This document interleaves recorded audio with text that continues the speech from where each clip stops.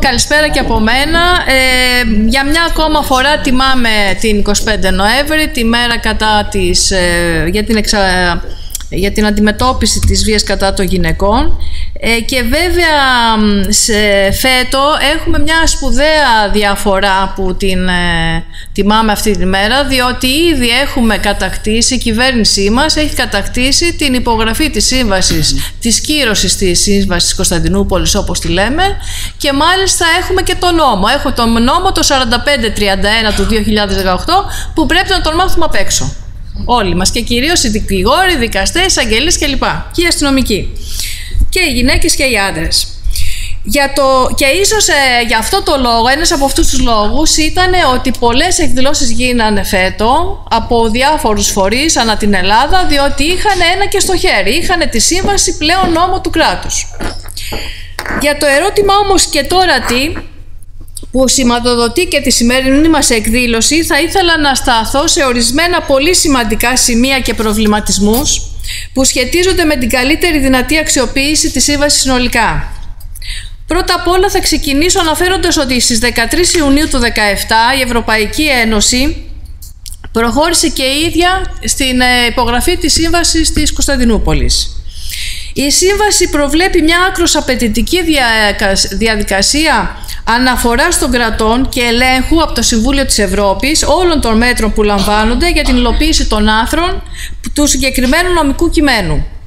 Από τα κράτη-μέλη της Ευρωπαϊκής Ένωσης που έχουν υποβάλει έκθεση πεπραγμένων και έχουν συμμετάσχει στη διαδικασία ελέγχου και προφορική εξέταση στην έδρα του οργανισμού στο Στρασβούργο αλλά και επιτόπια επίσκεψη σε ε, αντιπροσωπεία στη χώρα αναδείχθηκαν ιδιαίτεροι προβληματισμοί ως προς την υλοποίησή της.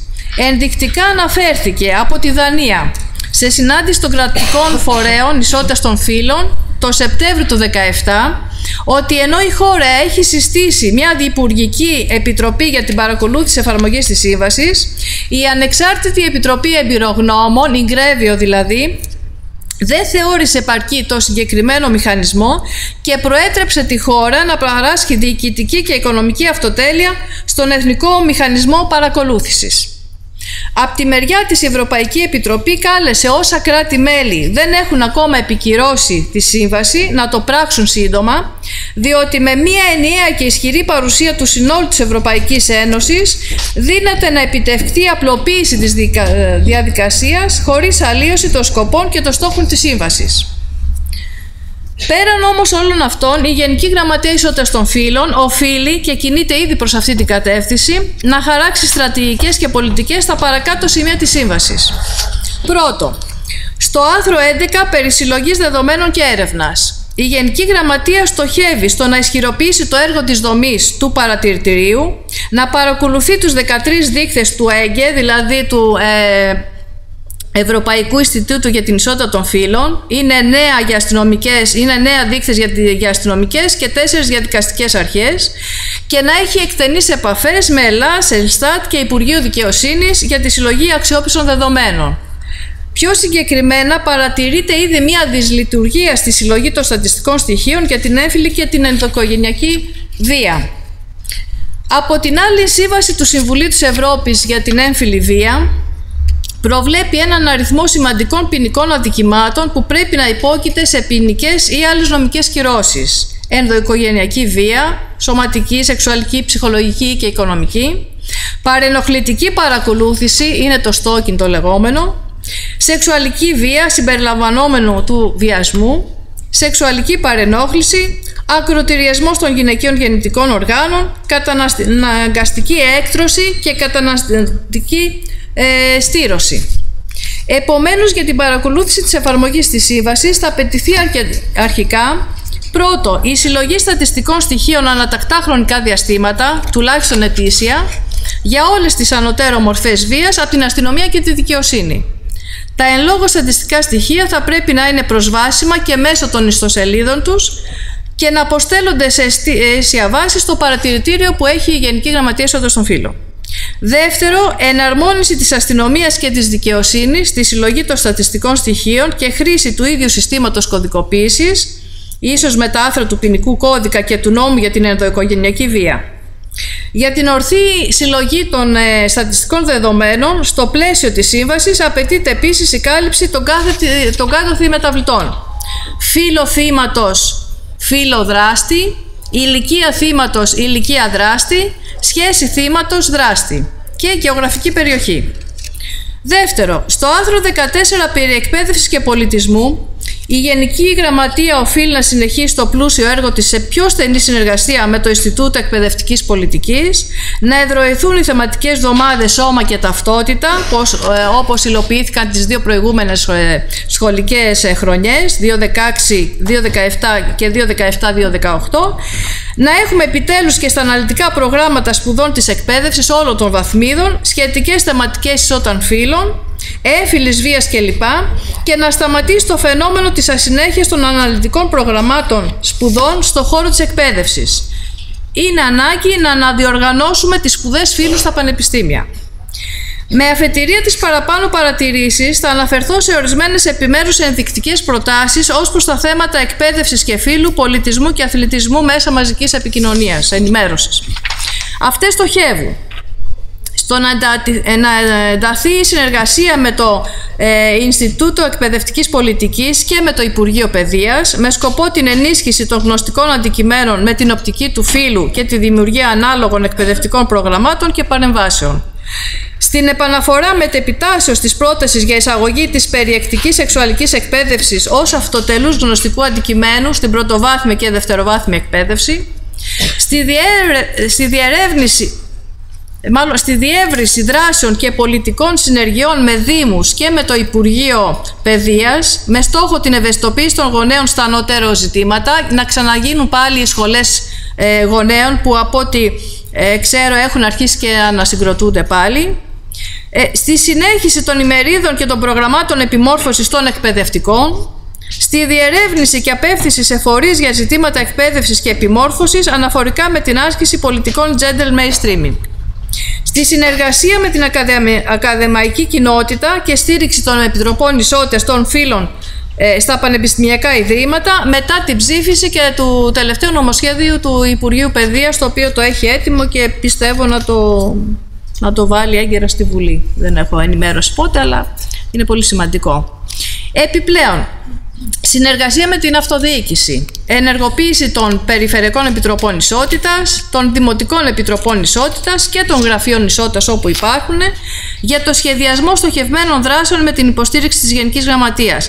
Μάλιστα τώρα που αναβαθμίζουμε όλες, όλα, όλες, όλους αυτούς τους θεσμούς, δηλαδή ε, και τις πεπίστης ε, ε, τις ε, συγκροτούμε με περισσότερες γυναίκες, περισσότερους φορείς και με περισσότερες έτσι, αρμοδιότητες αλλά ε, με τις επιτροπές ισότητας των Δήμων τις ε, θεσμοθετούμε, δεν ήταν θεσμοθετημένες αλλά και με την ε, δημιουργία γραφείων ισότητας σε όλους τους Δήμους ε, αυτό θα γίνει με το νομοσχέδιο, το νέο νομοσχέδιο για την ουσιαστική ισότητα των φύλων και την καταπολέμηση έμφυλης βίας. Ακόμα, η Γενική Γραμματεία κατά τη διάρκεια της τελευταίας τριετίας έχει διοργανώσει πολυάριθμες εκδηλώσεις σε συνεργασία με σημαίνοντες θεσμούς και φορείς πολιτισμού.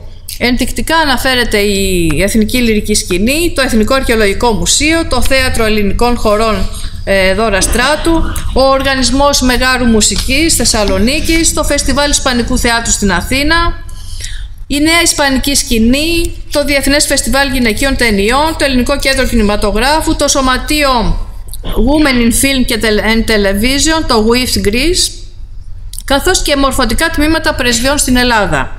Είναι αναγκαία λοιπόν η ανανέωση των υφιστάμενων συνεργασιών και επιδίωξη διεύρυνσης μέσω της δικτύωσης με περισσότερους φορείς από το ευρύ φάσμα των τεχνών και του πολιτισμού αλλά και του αθλητισμού. Παραδείγματος χάρη, πρέπει να ε, δημιουργήσουμε ε, μία συνεργασία ε, για το με το παρατηρητήριο της UNESCO για τη γυναίκα και αθλητισμό.